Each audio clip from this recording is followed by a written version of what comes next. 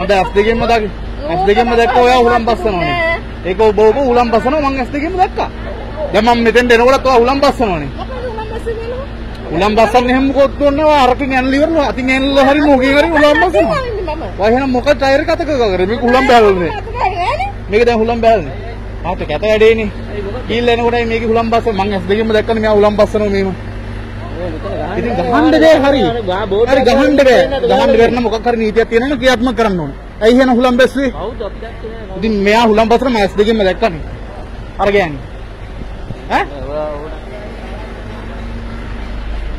Madam, ඔයාලට කොහෙන්ද madam අයිතිය හුලම් බස්සන්න වාහනයක? හා? ඔයාලට කොහෙන්ද අයිතිය වාහනයක හුලම් බස්සන්න? එහෙනම් ඒ හුලම් බැස්සේ? අපරාධීට. ඇයි හුලම් බැස්සේ කියන්නේ කොහමද? වාහනේ ඇයි හුලම් බැස්සේ? ඇයි වාහනේ හුලම් බැස්සේ? මගේ ඇස් දෙකෙන්ම දැක්කනේ ඔයා හුලම් බස්සනවා. ආ මොකෙන්ද? ඇයි මැෂින් ගෙනන්න ඕනේ හුලම් බස්සන්න? බලු වැඩ කරන්න එපා අහලෝ. ඉස්පිරිතාලයකට මිනිස්සෙක් ඉන්නේ අසරණ වෙලා. ලෙඩෙක් එක්කන් ඉන්නේ. එහෙම තියෙද්දි මේ මිනිසුන්ගේ වාහනවල හුලම් බස්සනවා. සක්කිලි වැඩ. ඇක්සිඩන්ට් රෝඩ් එකට මිනිස්සෙක් වගේ නාවේ. ඒ ගෙනල්ලා යනකොට හුලම් බස්සලා. මොකද කාලා කන්නේද මේ මිනිස්සු? තිරසම් මිනිසුනේ. ආ මොන තිරසංකමද කියන්නකෝ? ඉස්පිරිතාලයකට මිනිස්සෙක් එන්නේ අසරණ වෙලා. නැත්නම් මිනිස්සෙක් එක්කන් එන්නේ අසරණ වෙච්ච මිනිස්සෙක්ව.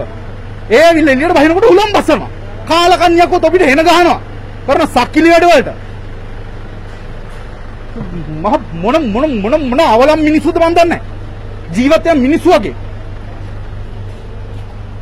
වාහනේ නවත්තන්න බැරි තොපිට නීතියක් තියෙනවනේ ක්‍රියාත්මක කරපන් ලියපන් දඩකොලයක් හරි ඔය නා දඩකොලයක් නියන්න නැත්නම් බම්බු ගහන්න තු හිටපන් මොනවටද මොන ලබ්බද කරන්නේ?